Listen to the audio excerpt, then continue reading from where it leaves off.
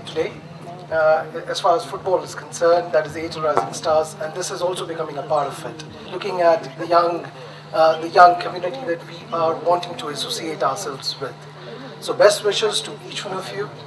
Uh, may the best school win. As we think East African, we know that one day we are going to be a force to reckon with because as East Africans, I can see us taking all the medals that matter at such a forum.